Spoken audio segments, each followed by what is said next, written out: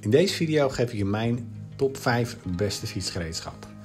Aangezien mijn nieuwste fiets al meer dan 10 jaar oud is en ik de voorkeur geef aan het restaureren van fietsen van voor de eeuwwisseling, zal deze lijst zeker een persoonlijke voorkeur bevatten. Laat me weten met welk fietsreparatiegereedschap jij niet zonder kan. En mocht je dit een leuk filmpje vinden, geef dan een like en subscribe op mijn kanaal. Dat wordt altijd gewaardeerd.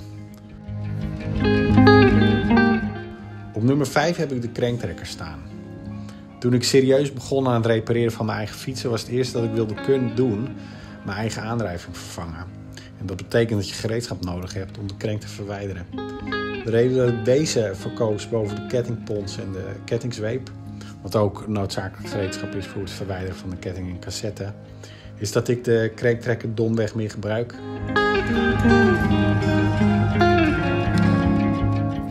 Ik gebruik hem namelijk ook om de krenk te verwijderen als ik deze wil schoonmaken.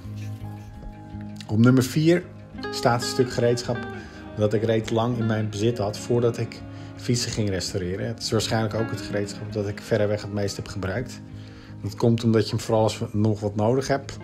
Van remmen, remgrepen, shifters, derailleurs, zaalpennen, etc. Feitelijk gezien is elke bout op je fiets te bedienen met deze inbussleutelset. Het niet na hoeven denken over het juiste pakken en ze allemaal bij de hand hebben. In een eenvoudig pakketje vind ik een zegen. En zeker voor de prijs van 10 euro.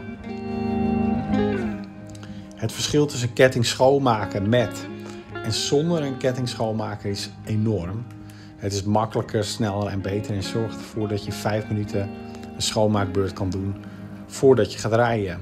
Ik heb een BBB-versie, maar overweeg de aluminium versie van de Parktool aan te schaffen. Het plastic van mijn uh, ketting schoonmaken brak uh, namelijk vrij snel.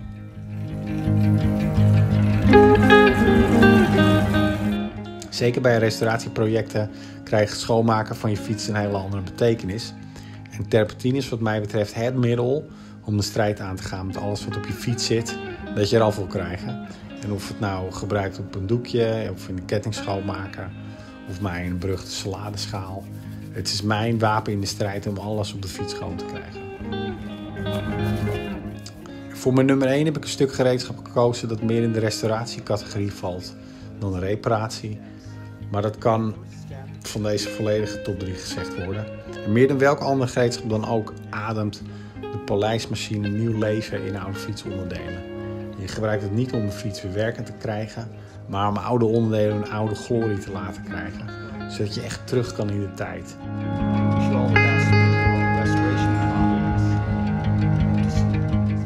In alle eerlijkheid, welke projecten jij oppakt kunnen wezenlijk verschillen van mijn voorkeur voor fietsen uit de jaren 80 en 90. Daarvoor kunnen dus ook verschillende stukken gereedschap nodig zijn. Maar als je koopt wat je gebruikt tijdens een project, weet je zeker dat je datgene koopt dat je ook nodig hebt. Ik hoop dat je met veel plezier hebt gekeken naar deze video. En uiteraard hoop ik je weer te verwelkomen bij de volgende. Bedankt voor het kijken.